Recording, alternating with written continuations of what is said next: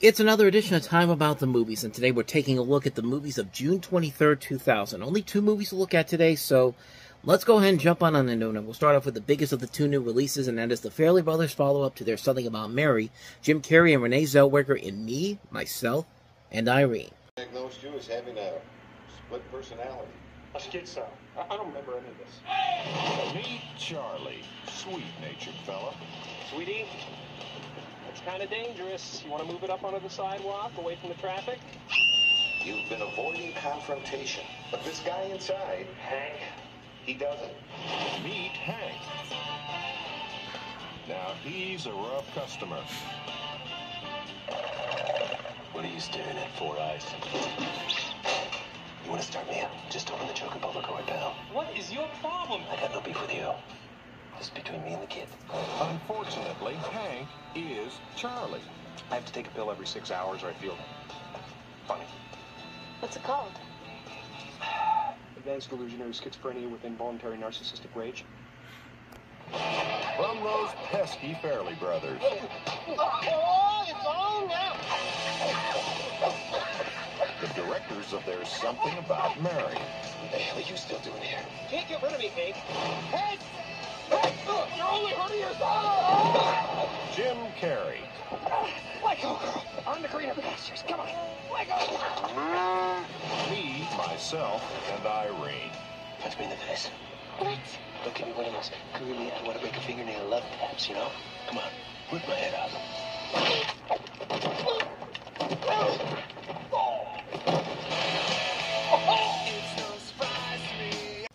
So that trailer kind of gives you a sum up of what the plot is. You have Jim Carrey as this Rhode Island state trooper named Charlie, who after years of continuously suppressing his rage and feelings suffers a psychotic breakdown that results in a second personality and Hank coming out.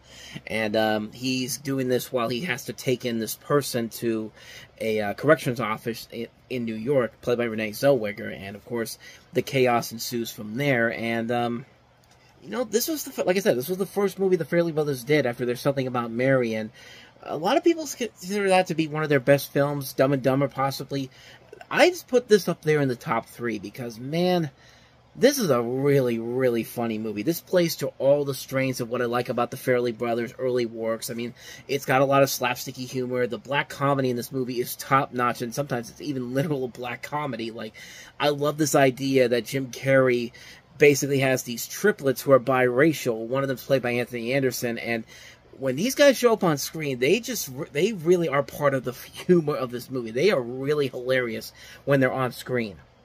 Like they really do have some of the funnier moments in the movie, but the real star of this is Jim Carrey. I mean, Jim Carrey has to play these two different personalities, and man, there are so many great, fun, quotable lines from this movie. Some of them, uh, some of them, I obviously can't say on here because of obvious reasons, but um, let's just say that there are a lot of f bombs in this movie, and um, they most of them are pretty funny. Like I really like some of the gross out humor is actually really clever and funny too, and that's really t- hard to say when you really think about it. Like gross out humor most of the time isn't that clever, but this is the Farrelly Brothers find a way to make this kind of stuff really clever. Back at least they did back then. Nowadays, uh, they want to be more serious now. Of course, they got to make a schlocky Oscar bait stuff like Green Book or Champions, but um, but this is back when the Farrelly Brothers really used their strengths to work to this to the film's advantage. Um, uh, Renee Zellweger is pretty good in the movie too. I don't think her chemistry overall with Carrey works very well. I mean, she's got to play against the the two different personalities for this one guy, and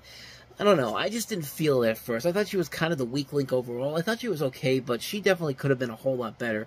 I think they were also dating at the time too. I could be wrong on that, but um, but like I said, man, this is just a really, really funny movie, and sometimes you can really believe in what Charlie is going through here. I think a lot of people have that second person there inside of us that just wants to like get his rage out there, and just basically results in the second personality. And uh, I think most people can really, can, most people do a, a most um, a good a, a good job of containing it, but um, here's what happens when you when you just can't take it anymore, and really like I think a lot of people can really relate to this, and I think it's really funny. I think it's really clever stuff. I think it's really well done. I think it's definitely one of the best Farrelly Brothers, Farrelly Brothers movies. And like I said, man, it's quotable as hell. Like I can't again, again, I can't say these quotes because, um, like I said, there is a lot of profanity in this movie. I'll just say that. But um, But yeah, man, I love this movie, man. I really do love this movie a lot. Uh, just great elements all around. I can't recommend this one enough. This is definitely one of the Farrelly Brothers' best films. Probably top five overall, honestly, the more I think about it. But um, that's me, myself, and Irene. So let's go ahead and move on to our last film, which is another really good movie, the first feature film from Aardman Animation, and that is Chicken Run. Ever wonder what chickens do when you're not looking?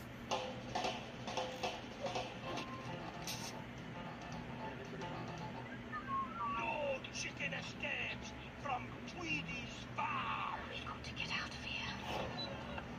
Chicken identity confirmed. Ginger. Julia Sawalha.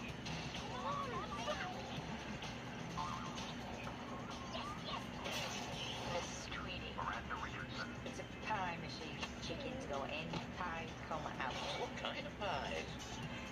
Babs. Jane Horrocks. I don't want to be a pie. Don't like bread. Rocky the Rooster. Mel Gibson. Hi, how are you? Which book is it? Rock and roll. Those chickens are up to something. They're organized. It's chickens. They're on a mission. Operation Cover Up. That's chicken. Impossible.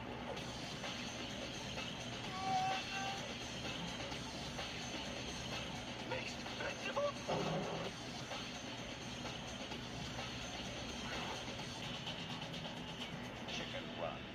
Will hatch in five seconds.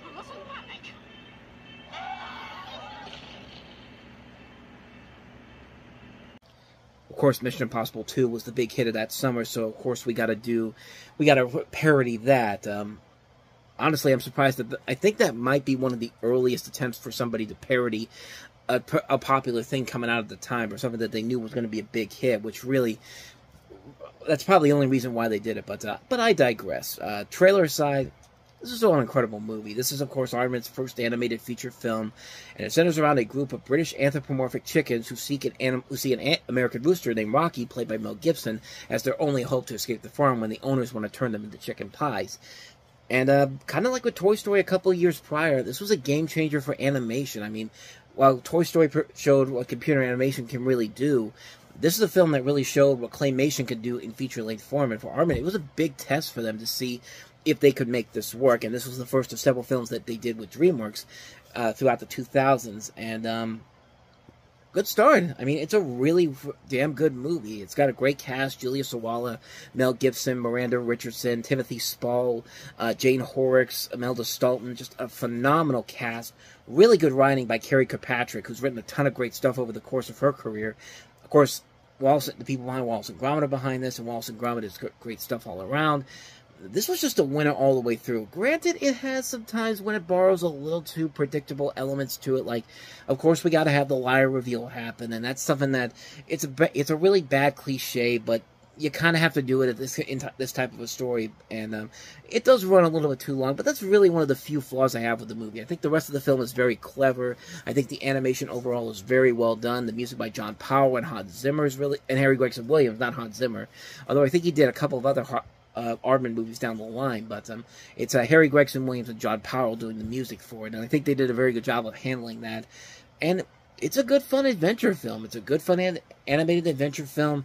It was really one of the, it's probably the best animated film to come out in 2000. Honestly, the more I look at some of the movies that we have on here, this is definitely very high up there, if it's, if not the best animated film to come out that year. And um, and uh, yeah, and as of doing this, we're about one week away from the sequel coming out, uh, Chicken Run Dawn of the Nugget on Netflix, which could be good, but uh, it's gonna be I don't know. It's gonna be hard for me to not see these characters of Ginger and Rocky and not think of Julie Sawalha and Mel Gibson. Yeah, Thandie Newton and Zachary Levi are great actors, but uh, when I think of these two characters, I think of what I see in the original film, and um, I don't know. Hopefully, it's good. I'm hoping for the best, but um, like I said, man, this is a great film. I can't recommend this one enough. Definitely check out Chicken Run. And so, with that said, we wrap up another edition of Time About the Movies. When we meet next time, George Clooney and Mark Wahlberg star in The Perfect Storm. Mel Gibson back again with a new film with Roland Emmerich, The Patriot. And we also have The Adventures of Rocky and Bullwinkle. Those are the three films that will open up on 4th of July weekend of 2000. And we'll take a look at those on the next episode. But until then, uh, thank you very much for watching. And if you want to see more videos like this, uh, please hit the playlist on the next page. Check out the previous episode. And don't forget to hit the like and subscribe button if you want to see more videos like this on this channel. Now, don't go too far away because coming up next, we have a new time about the movie's flashback. We're flashing back to the weekend of August 26, 1988, with um, seven movies to look at, including Deborah Winger and Tom Berenger in Betrayed, Mark Harmon and Jodie Foster in Stealing Home, uh, Bobcat Goldthwait in Hot to Trot, Chuck Norris and Hero and the Terror, uh, Crossing Delancey, The Thin Blue Line, and The Year My Voice Broke. So seven movies to look at overall on that, and we'll have that for you coming up right after this.